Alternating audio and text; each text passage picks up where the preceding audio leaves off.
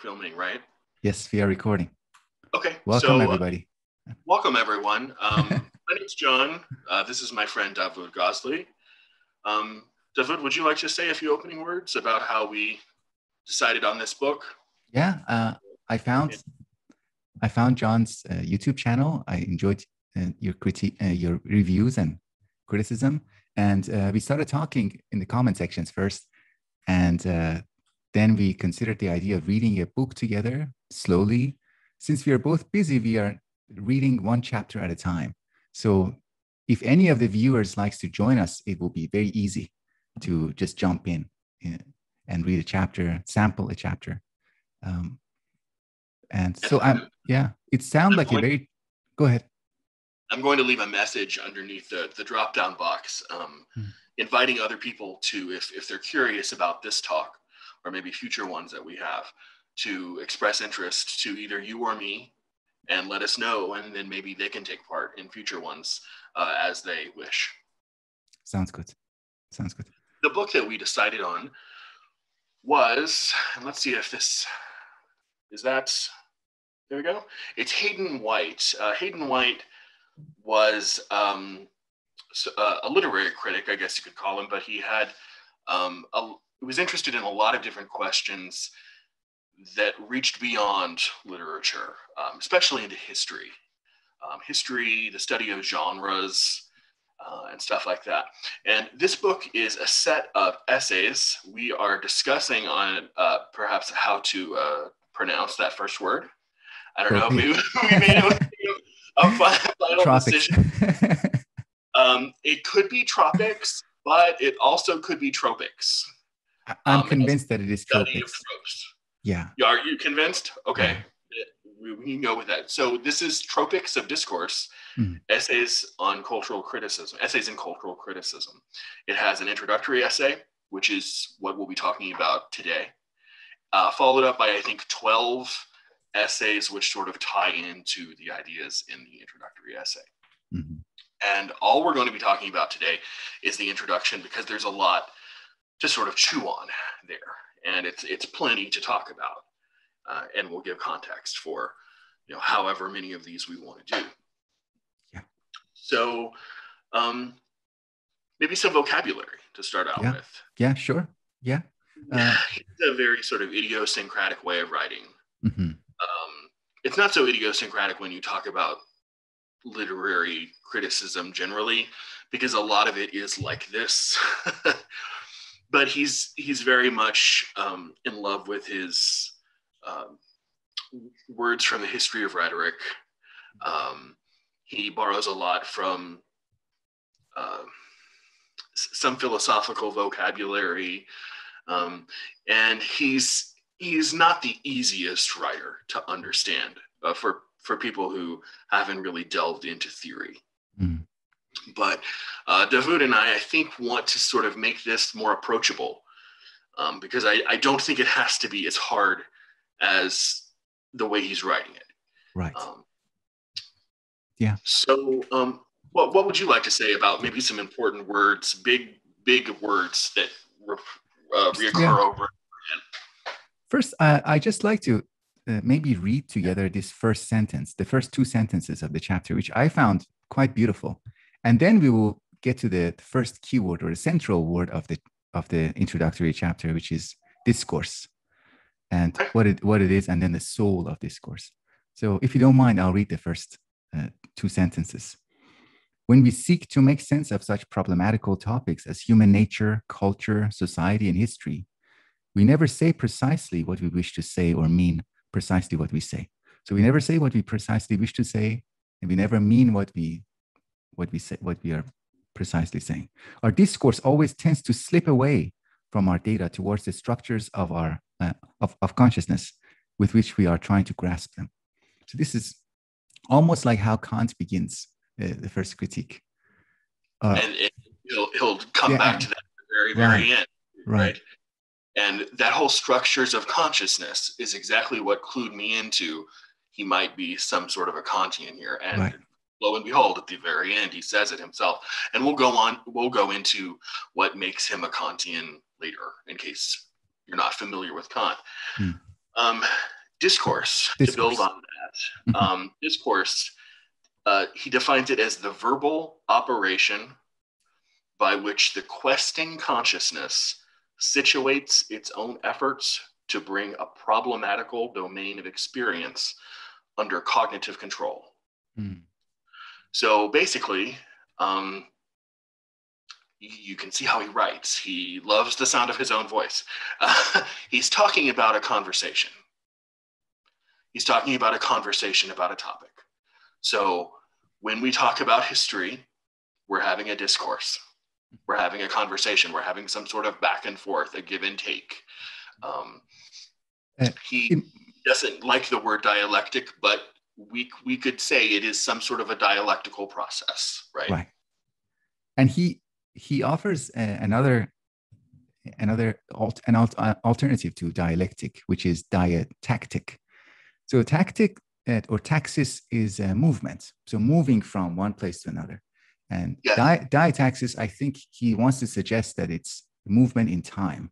You go from your the structure of your consciousness to the subject at hand the subject matter and then you go back back and forth because of that slipping away of the sub uh, of the object he says he doesn't like the word dialectical because dialectic often refers to something transcendent. Hmm. Again, there's that Kantian strain again. But um, there's there's nothing really obviously transcendent when we're talking about human conversations, right? Whether it be about history or anything else. So that move from dialectical to diatactical was again just another expression of his love for rhetorical terms, I think, and kind of unnecessary. Hmm. Um, I, I I think dialectical would would have been fine, but I understand where he's coming from. So discourse is basically a conversation between at least two people on um, undergoing the process of understanding, trying to approach some sort of understanding on a subject. it might be useful he contrasts discourse with two other things. He says discourse is neither uh, just a logical demonstration nor fiction. So what is uh, characteristic of both? Well, in, in logical demonstration language it can afford to just refer to itself. So deduce based on what is already within statements just preserve the truth of statements without having to refer to something beyond language uh, something in the world, an event in the world, or a fact in the world.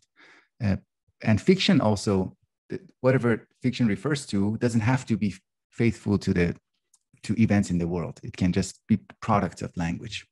But discourse cannot afford that. Discourse always has that uh, dia, dia, diatactic or dialectic relationship with something, and that is the, the root of its difficulty. Fiction can be a complete fabrication. Right. it, it, it's not tied to anything of the external world. It can be a complete artifice. Um, fact uh, is something that I think Hayden White would question that we have any access to whatsoever. We really have no access to raw facts. Again, that's Kant. We'll talk about that later. So then what what is what is discourse? Discourse is a mapping a series of mappings from those raw facts, which we claim to have some sort of access to, to our attempt of uh, creating some sort of understanding. And how we do that is through the imposition of tropes. Right, right. Which is why he says tropes or troping is the soul of discourse. Yes, Soul there as would be opposed to without the other. There would be no discourse without tropes. Right. Well, the soul as opposed to the body. The discourse will have just a dead body without the Yes. without tropes. That's Descartes. We don't need to go into Descartes and Kant. right. but yes, yes. So, um, so these tropes are. He is particularly concerned with four, and he sort of refers to these, I think, as master tropes. Mhm. Um, the the four tropes are metaphor, um, metonymy, synecdoche, and irony. I think everyone probably knows what uh, metaphor and irony are. Um, uh, synecdoche and uh, metonymy, I always get confused. Um, but I mean, you can look them up in a dictionary. Um, I always have to, but they're, they basically have to refer to um, uh, calling something by its part or by its whole or, or, or something. They're very related, but um, I always have to uh, look them up myself. So he's saying that these are four um, ways that we can take raw pieces of data, raw facts, and try to um, understand them. Would you agree that uh, what is common in all these four? Would you agree that they all are ways of grasping something that is beyond our grasp initially? Like yes. m- metaphor, metonymy, irony, they're all things, they're, they're ways of grasping something. Metonymy is grasping something by one of its parts. Uh, synecdoche is, uh, or no, it's a switching. Metonymy, as I as you said, I, I switched between them. And metonymy is a way of switching something else that is adjacent. Synecdoche is a way of grasping something by its part. And irony is a, a way of being in relationship with, with it through that distance. Uh, and metaphor is basically a kind of using something else that we are familiar with in order to grasp the thing that we are unfamiliar with. So these are all uh, ways of grasping, which is uh, which enables discourse. And and to go back to those first two sentences that you read, I want to quote the exact language that he uses. Uh, he talks about structures of consciousness. Mm-hmm. Structures of consciousness. Uh, I think what he's almost saying is that human understanding can't can't really occur without these four things. I mean, th- this is how these four things, and you know, other rhetorical tropes too, but these four things are four of the major ways that our mind uh, slowly goes from no understanding to understanding. Right. right. And, and that, that travel, again, that, that sort of slow path from one to the other, not understanding to understanding, is the process of a discourse. Mm. We, we, we impose these things. These are the tools that we have to sort of um, make our way through the world mm-hmm. when we ask ourselves questions and understand, attempt to understand answers to those questions. Mm. So when somebody, for example, calls something a hard fact or a fact that, that doesn't care about my feeling, uh, a hard, the hardness of that fact is itself a metaphor. Like you're comparing, you comparing metaphor to a hard rock that doesn't uh, budge, doesn't uh, is not sensitive to, has no sensation or sensitivity or responsiveness to my feelings. That itself, that statement is a, it's a product of a, a metaphor, and it is serving a kind of human function. It, it, it serves has, an ideological function too. Right, right. Because by using the word hard, you are imbuing the adjectives of strength, um, something you can't fight with, something that doesn't back down, mm-hmm. something that is always true, as opposed to soft, which is something that sways, something that oscillates, something that's easy to destroy, right? Yeah, something so you can negotiate with, maybe. But but by the choice of adjectives, have we em- employed a trope mm-hmm. which starts to do battle mm-hmm. with the way that we come to understand or not understand something. The way I was thinking about it um, was the, the famous uh, Civil War photographers of the American Civil War.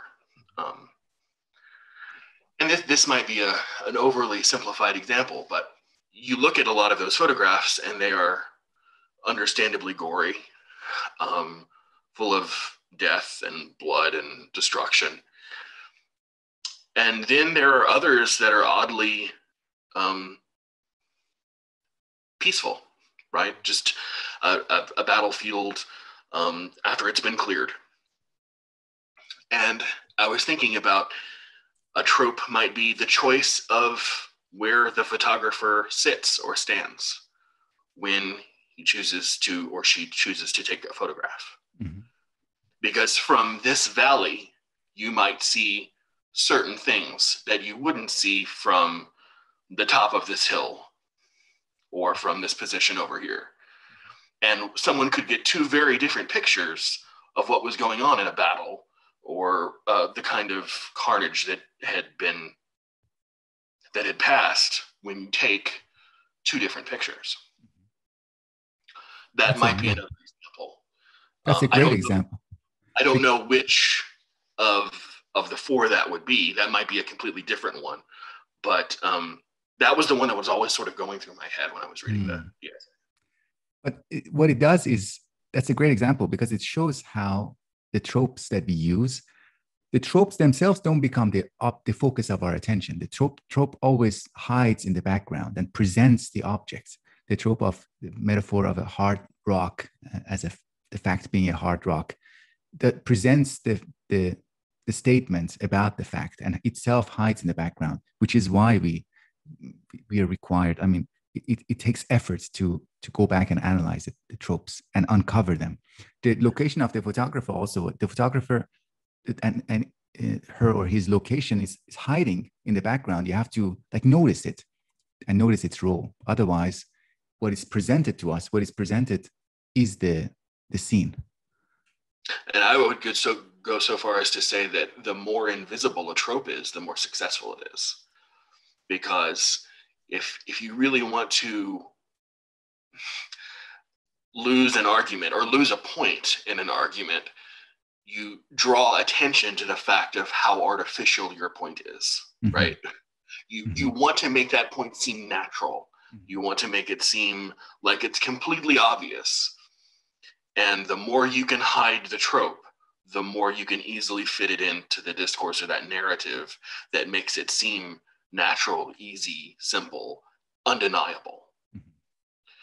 And maybe that's one of the reasons why you didn't have Mathew Brady, you know, the, the famous Civil War photographer, standing in front of his camera doing this when he was taking pictures, you know, because that, that's only a, you know, a late 20th century thing, right?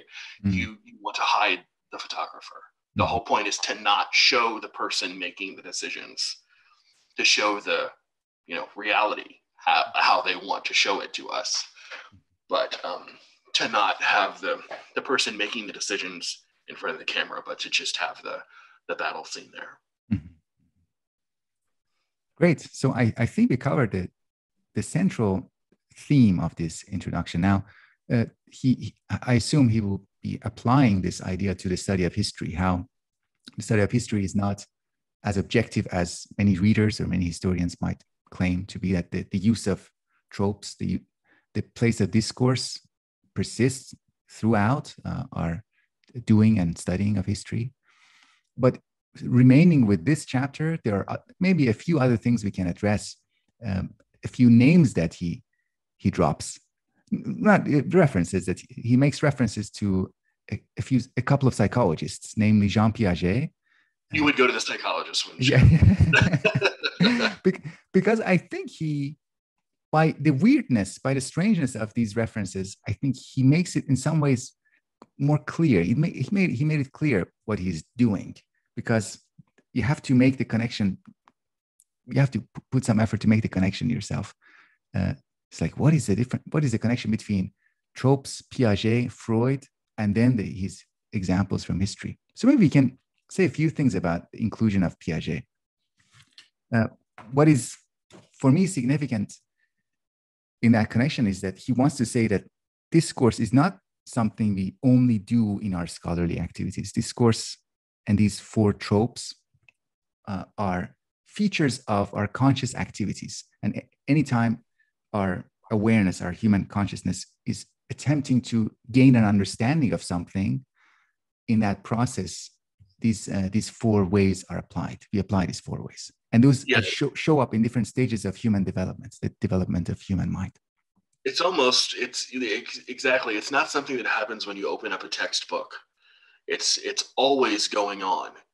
When, when you don't understand how you know um, something works anything works you are first of all trying to think about it in terms of how things you know work. That's a metaphor for example you know so so that's sort of like the first step and then you you progress through the other steps but it's not it's not just history it's not and this is one of the things about about genres um, he'll he'll eventually go on to say that we understand different kinds of genres through the tropes that are used in them Mhm. so history brings certain kinds of expectations to it. So, for example, uh, history is usually, um, uh, in a classical sense, told in chronological order, right? That's one of the things we expect of it. But that's not necessarily true of a novel.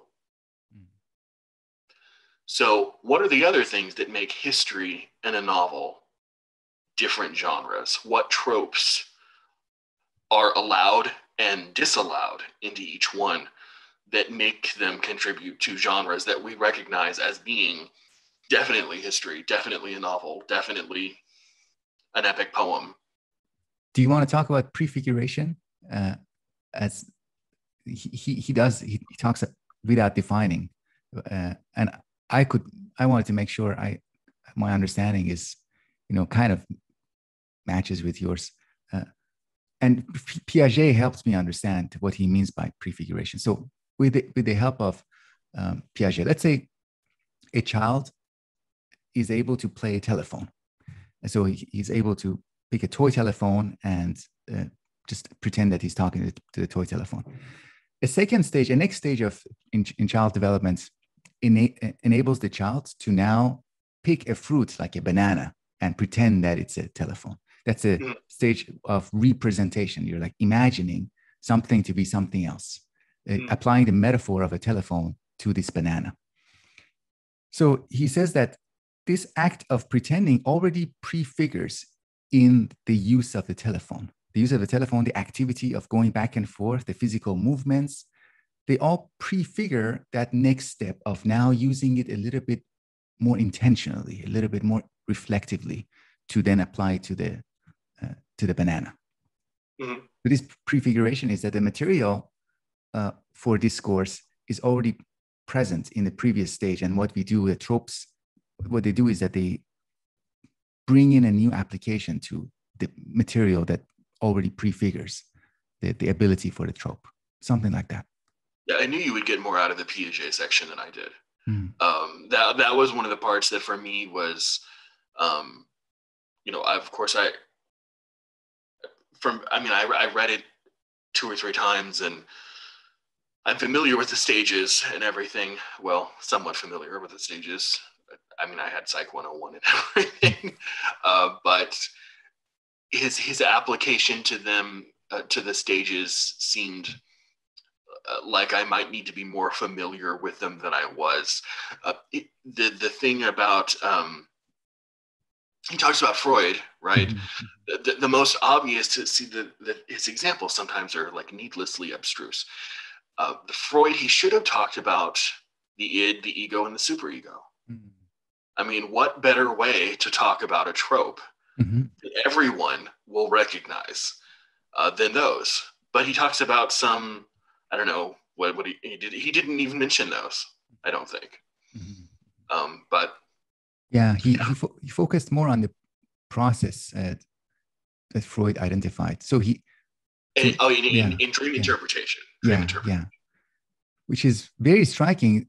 That well, basically his claim is that that process between what we see in our dream, the, the apparent dream material, and what is beneath them, mm-hmm. the translation between that is also uh, trop, uh, tropical. Uh, is it something akin to discourse?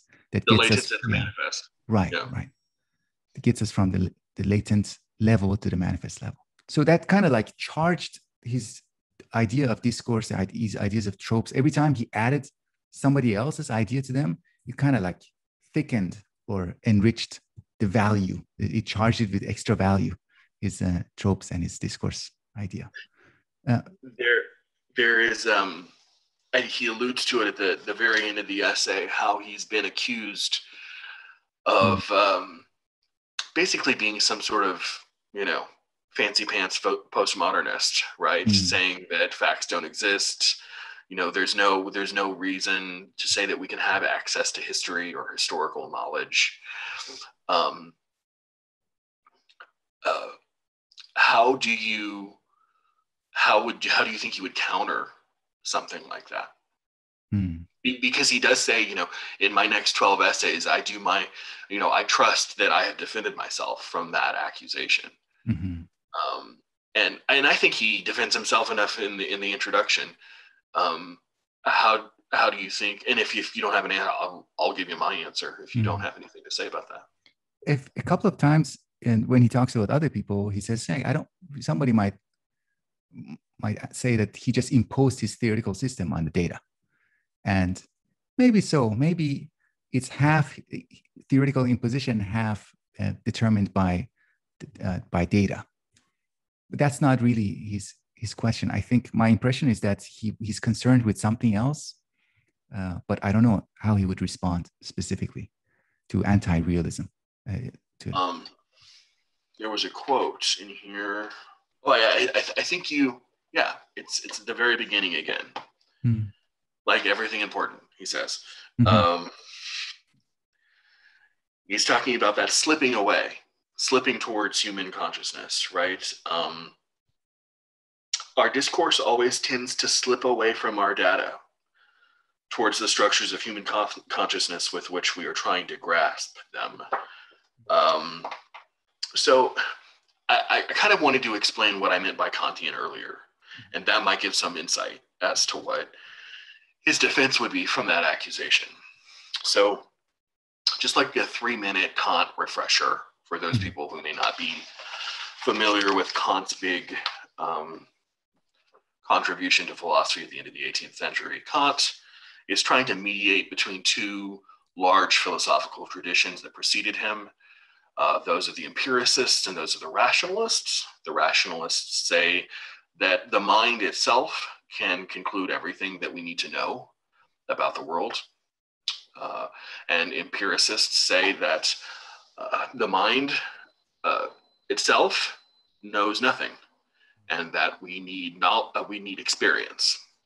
Our, our minds need to be written on by the world uh, in order to have knowledge of it. And of course, the classic formulation of that would be John Locke's tabula rasa, right? The blank slate. Our mind is a blank slate.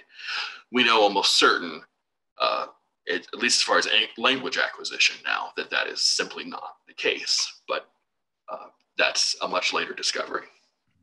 Kant comes along and says that there's something inherent in our minds that when we look out into the world, we don't we don't have direct access to the things that we perceive. Um, and he, he makes this distinction. Uh, he calls raw factual data out there, quote unquote, inverted quotes. He calls them noumena, N O U M E N A. Once we experience them, once they've been processed by our cognitive faculties, they have been transformed into phenomena. So he has this distinction between noumena and phenomena. Our, our minds are not these just sort of blank, receptive, bland interpreters of the world. They actively impose things on the world. Like, for example, Kant will say, when we look out in the world, there is no such thing, and Hume was famous for saying this, making this criticism. There's we can't tell cause from effect. I mean, you see two bowling balls, one hits the other and the other one starts to move where is the cause and where is the effect? You can't pinpoint them in time. You just have to say, well, I guess when this one hits this one, this one starts moving. That's something our Kant will say, that's something our brain is imposing on the world. Other things our mind impose on the world are time and space, and a lot of other things too. But basically, our mind is an active participant in our understanding of the world. And I think where uh, where Hayden White's Kantianism comes in is that our deployment and use of tropes is the way that our mind understands and relates to discourse. It's the way that we try to understand things. So it's um, the domains are a little bit different. Kant's talking about all of sensory experience, and he's talking about um, human conversations, human discourse but still, um, you know, when, when we take those, you know, raw facts of history, or say, for example, uh, we don't have access to those. But what we do have access to is uh, our way of relating to them uh, through a number of ways and through organizing them uh, with principles that we recognize as principles of history writing. Just to pick a genre, it doesn't have to be history. It could be a novel or whatever I said. Um, you know, any, any any genre. But that our mind imposes imposes those things. It uses tropes to understand. And I think if we can sort of see both as as a mapping of one one to the other, Kant, you you have this sort of um, intangible uh, uh, noumena that, that we, we can't experience. The only thing we can experience is what our brain has processed and what has already become phenomena. Mm-hmm. And Hayden White will say, we don't have access to those raw facts. All we have is access to those processed facts, those discourse mm-hmm. mediated facts. And how are they mediated? They're mediated through tropes. There you go. I think that is the essence of the introduction. Right, right. It's uh, let me just add a little bit of a paraphrase. Uh, it, it, I find it useful to talk about that historical movement from empiric, rationalism, empiricism, and, and Kant through the, the sources of error that they identified. So for a rationalist, the major source of error for us is perceptual illusions, like the senses uh, deceive us. And for empiricists, this major source of error is our prejudice, are the ideas that don't have any correspondence to experience. Mm-hmm. And then with Kant, we identify a new source of error, which is not just a, a, an idea that doesn't correspond to experience or an experience that is uh, illusory, but a misidentification of something as something else, a category that is uh, part of our, the structure of our consciousness, but then we project it as something in the world. Mm-hmm. The mishandling of our, yeah. So we, yes. the noumena is that place placeholder where we shouldn't identify our phenomena as more than what they are. We shouldn't let them speak uh, speak on behalf of the noumena too much. Yes. Yeah. yeah, because we don't even have access to them. Right.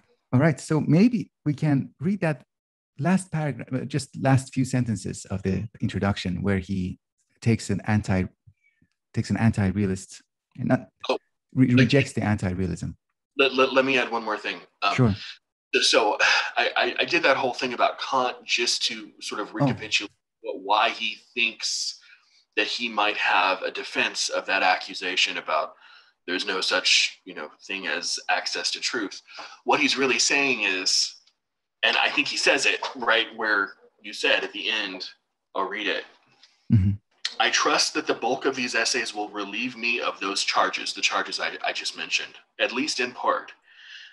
I have never denied that knowledge of history, culture, and society was possible. I have only denied that a scientific knowledge of the sort actually attained in the study of physical nature was possible.